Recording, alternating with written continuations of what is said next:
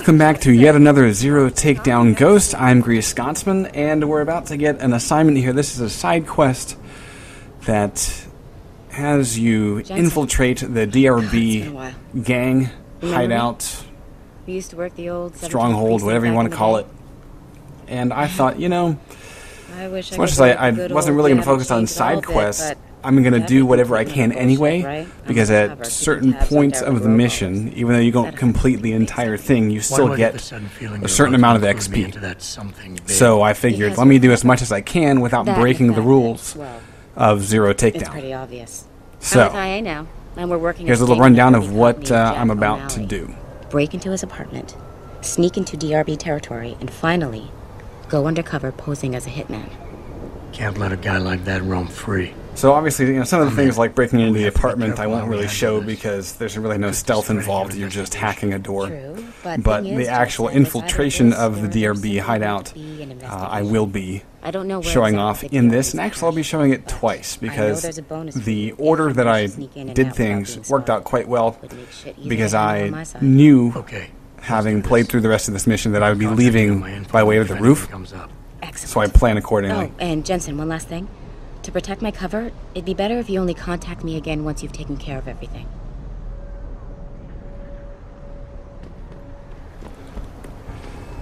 All right, so first thing I'm going to do is go um, essentially hand in the quest, complete the quest that I did in the other segment of the police station. I've got to know what really happened to Megan. Because this is one quest that you can complete in its uh, all of entirety Detective Chase's leads. without right. breaking any rules Something was off with of Megan's. ZTG. So, what There are only find? certain side quests you can do. a man named Obviously, I can't do Word the final stage found Megan's of the I'm sure she wanted you to have NCB leader because that involves takedowns. You have to take down the kind gang. There's also, of course, the final stage of O'Malley.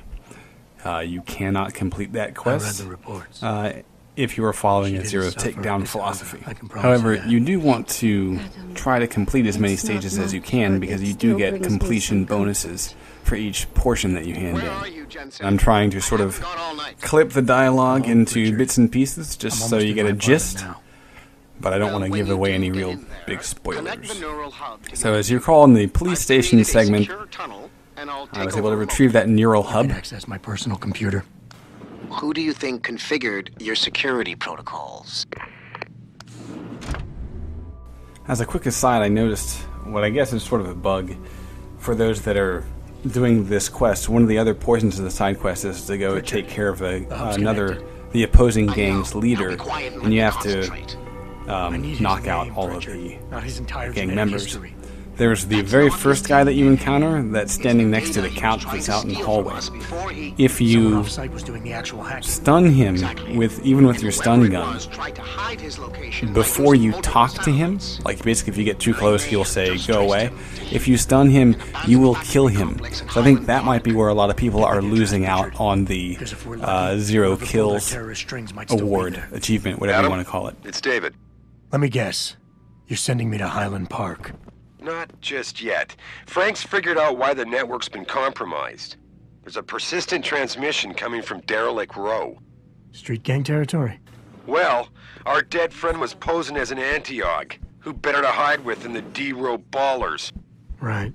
I'm on my way. All right, so I actually picked this up essentially where uh, O'Malley tells you where a weapon is. You're supposed to go assassinate a guy, but we're not going to do that because we are one of the good guys, at least in this playthrough. And so I just want to kind of give an idea. Um, that's the entrance I will be taking, but I want to show you essentially where I am going to be approaching it from, just in case uh, people have a hard time getting their bearings. So there's the main entrance that I just sort of uh, scoped out there.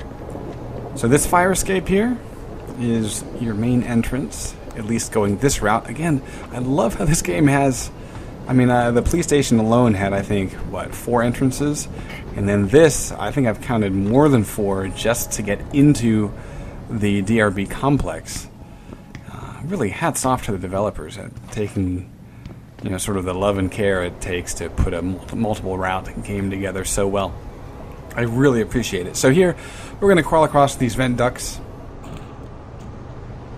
You may want to save here because if you miss, you'll die. A uh, little hint there you want to be standing for the first jump, crouching for the second jump, and crouching for the third. Otherwise, you'll hit your head and you'll go splat down below. So, down this fire escape, there's going to be one guy that uh, simply you have to get his attention. You don't have to be caught by him, but you have to get his attention. Um, you want to use this box down below, just drop onto it for a soft landing. And I've tried just about everything, jumping around, throwing things, whatever. Nothing gets his attention until you do... I'm waiting for that person to move. Until, basically, as soon as you pass this point right here, he automatically becomes alarmed. You know, again, this is this was within the, the scope of the rules where as long as you're are never actually detected, the idea is uh, it is okay if you can't get a guard to move, you can do something in order to get their attention to pull them out of place just temporarily. He will go back to uh, a normal state in just a few seconds. Right there. He left. Gotta keep watching in case So- he comes back. Again, a very temporary uh, disturbance. And now we just ghost him in his wake.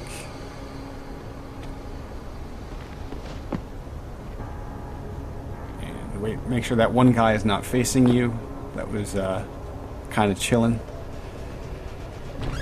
He does turn his head, so that's Jensen. careful there. How can I help you, Francis? You know why I'm contacting you. The transmission that's making a mockery of your security efforts? It's keeping a back door open into our network. None of us are secure unless you find the antenna that's sending it and shut it down. For you, anything. Oh, Pritchard. All right. So this is really, I think, where the game starts to get pretty fun. I, I really enjoyed infiltrating this. Make sure that guy doesn't see me.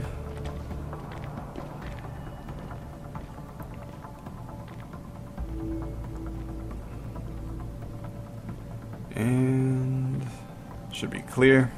Making sure he's actually going to stay put.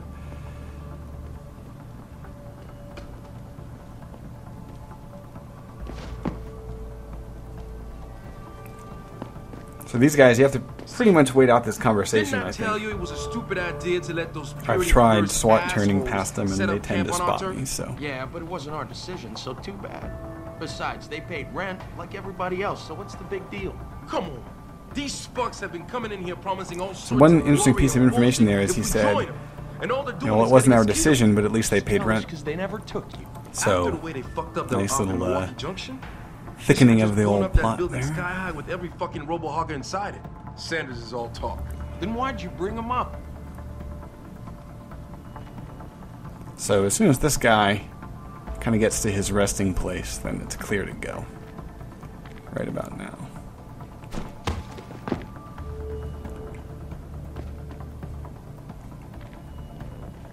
And make sure that that guy has his video game out, otherwise he might spot you. And I'm using the radar here, there's a guy on my left that I'm waiting out. And you have to be a little bit careful here because he will check back behind him a little bit further down the path.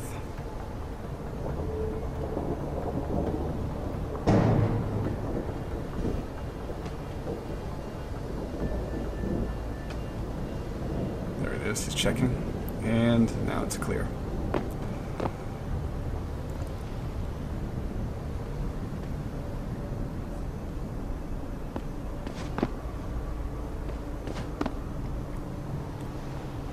Nice place to store bodies in that container. In case you're playing a takedown style. If you think Ahmed ain't that bad, then why don't you just become a skinner yourself? I'm just saying, think about it. We totally out-armed the And bandits. Just to sort of comment on the number of entrances, when I first played this, I was somewhere in the building on my left, and I came out like through a window that's on the second floor, I you know, third floor or something of the building. That's essentially behind where the camera is right now. I got you. And it was Jacking off with the like, came through a vent. I think that's I think that's where the rocket launcher is that they're talking about. Yep. I just mentioned the vent, I came elevator through. shaft. Yeah.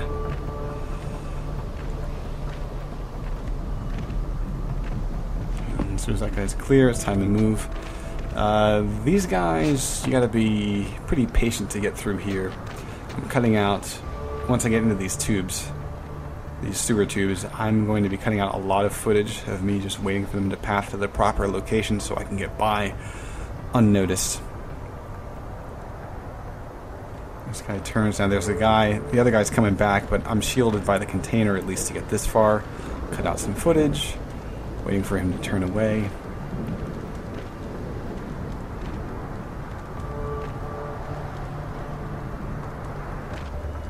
And again, a little bit more footage cut. And as soon as this guy turns the corner, we're clear to go to the stash.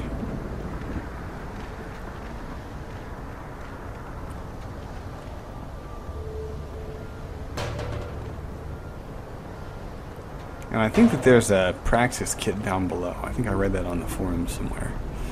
So, for those that are curious, going into the sewers might be a benefit to you. I haven't yet to go down there because there's just so much crap to do. And I actually still want to complete the game. I'm not even done yet, so.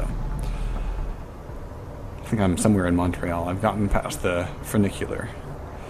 Anyway, time to replace the barrels and head on out. I have the weapon stash and the, uh, the evidence I need against O'Malley. So it's time to hightail it out. Again, my focus here is solely on the side quest portion. I'm not worrying about any of the main quests just yet.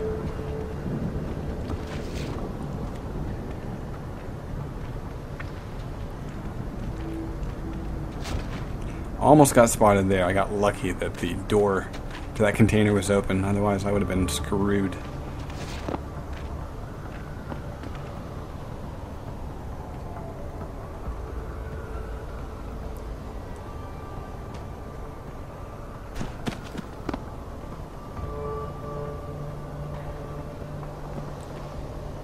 And so there's just this one guy that's pathing back. It's almost clear.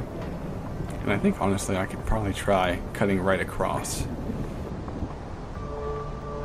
There's one guy in the window, if you look on the radar, you have to kind of watch out for. He's he's looked away, but um, that window that's over near that uh, dumpster, there's potentially a guy there looking out. So you gotta gotta kind of be a little bit cautious. So put the dumpster back, and now I just retrace my steps in order to get out of here. What I'm looking for is I'm trying to get a sight on the guy that paths back and forth up ahead. There he is. I just spotted him.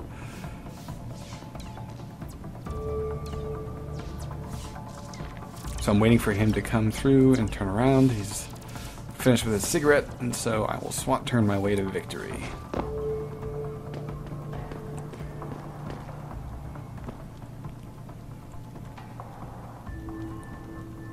Now here, this is my first playthrough of coming through. So I, I'm not really sure how I'm going to get past this guy. Because he stops and he turns where I, I might be able to sneak past him when he's looking out that way, but I realize, huh, I'll just hide here, maybe? Let's see if this works. I'm thinking I'm probably going to get spotted. Let me hug the corner. He looks pretty much right at me, but doesn't see me. So I'm like, all right, I'll, I'll take it. I'll take it. Kind of wish I had been spotted there, to be honest. I would like this game to be a little bit more challenging. I wish there was like a, a realistic setting or something where their fields of vision actually included a bit more peripheral.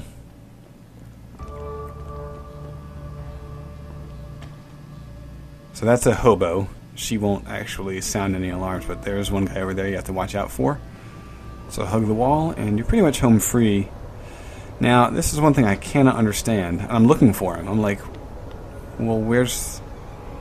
I'm looking at the radar, and I'm like, where's the guy that gave me so much trouble getting past this part before? I, I have no idea where he went, to be honest. I was like, alright, well, I'll take it. looks like I get to leave this way, no problem.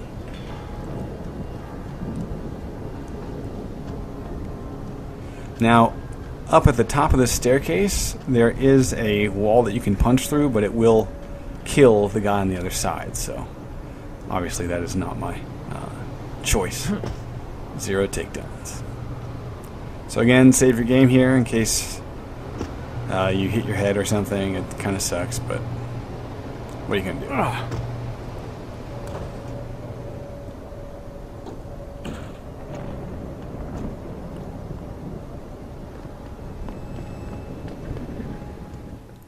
Alright, so that was the side quest.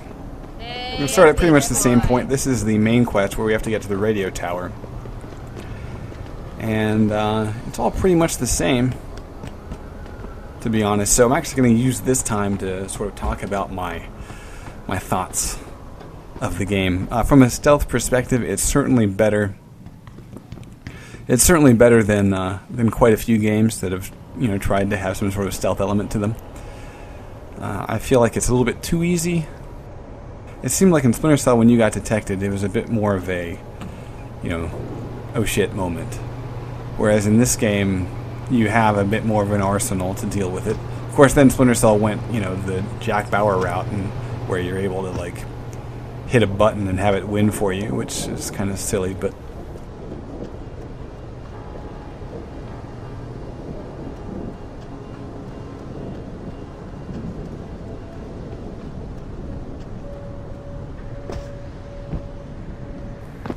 all things considered, um, the stealth in this game is pretty good. I wish that guards were a lot more sensitive. Here, here, I'm looking for the guy. I'm like, where the heck did this guy go? I'm like, eh, did I, you know, was I playing the other, my takedown playthrough where I'm doing all close quarters combat? And that's where I hid the body, was back in that corner uh, that I checked.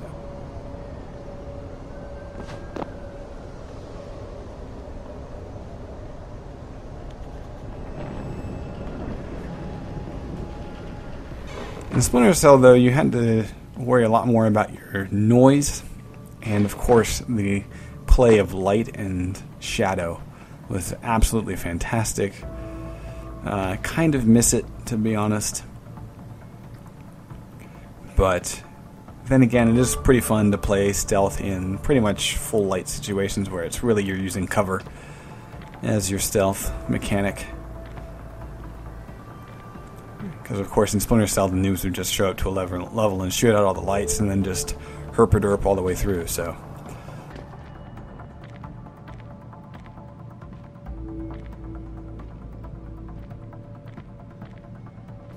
Another thing that I really appreciate so far in the game is uh, just level of complexity to each map.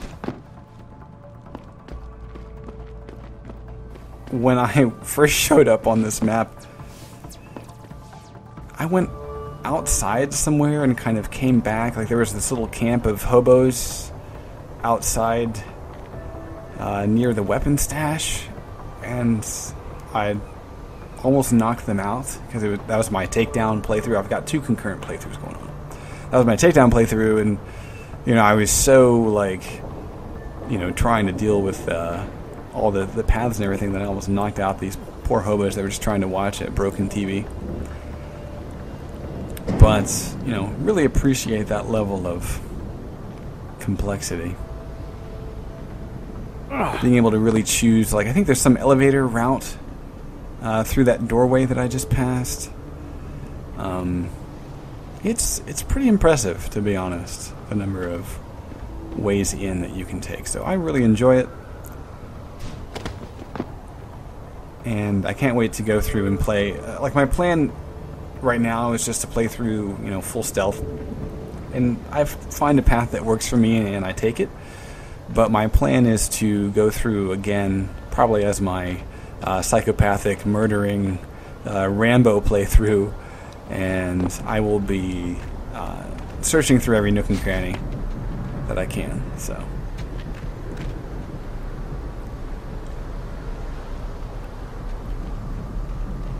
I'm able to do this quite a bit faster because you don't have to wait for the conversation, so they they don't start all the way out near the. Um, I still have to wait here, though, of course. They don't start out near the uh, container at the very entrance of this area, so that helps to get through it faster. And this gets a little bit hairy because I know that the guy that's on the right of me on the radar is about to path up and towards me, but then I can see on the radar the guy that's heading towards me, sort of top left. I'm like, okay, this is going to get interesting. I have to wait until he's at least past the container. Oh, and I almost get spotted there. Got really close.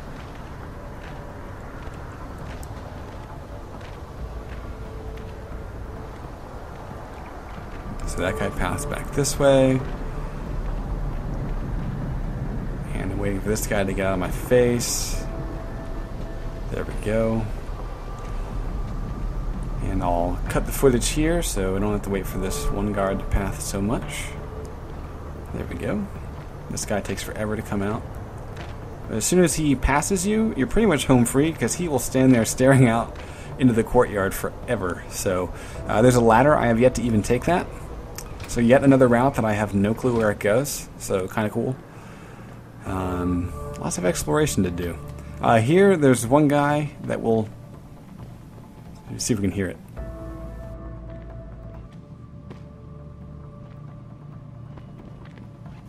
Zip. Yep, he's gonna go take a pee. So that's your cue. I thought we had cable. How comes I ain't getting nothing but Picus news? That's all we do get. Ever And for those that have yet to figure out, because I have seen this posted on the forums several times, how to get past mines, it's pretty simple.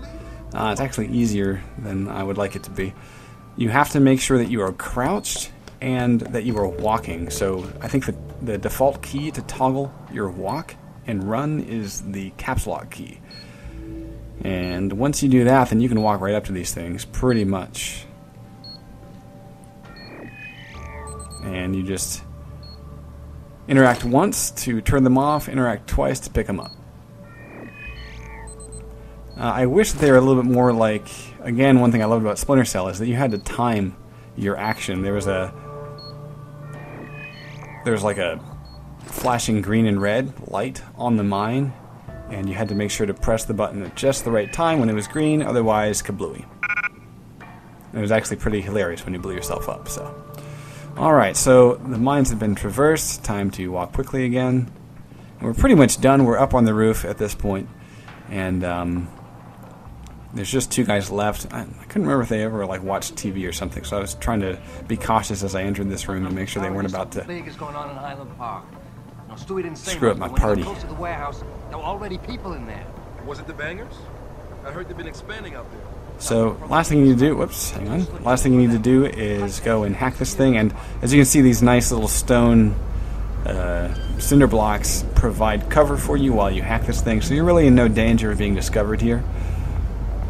So take your time, hack it away, and when they're done with the conversation, they walk away from you anyway. Um, again, I, I kind of wish that maybe there was a little bit more difficulty. Maybe I wish that the guards Access would granted. you know, not stop Boss, is that back in front of every open? cover point before No, they job. see you, you know what I mean? just sent me the all clear. Or that Now you'd have to to hack stuff quickly before getting spotted. Uh, it's one of the things I kind of love, standing that On the line, danger boss. Jensen, you element of me? Splinter Cell. Loud and clear. Uh, but close to the Deus. Ex Human Revolution is coordinates for it. I'm an absolutely pick up. fantastic game. So I'm making sure that these guards aren't about to come back before I make my exit. And there's the all important ghost bonus. Done and done.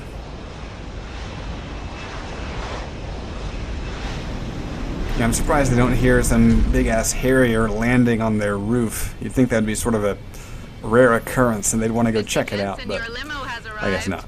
You ready to leave? So that concludes the DRB side quest and main quest Great. Portion local. of This Detroit Zero Industries, Bravo, walkthrough. Echo, Echo, And next up will be the factory that you infiltrate in order to track down Barrett. Stay tuned.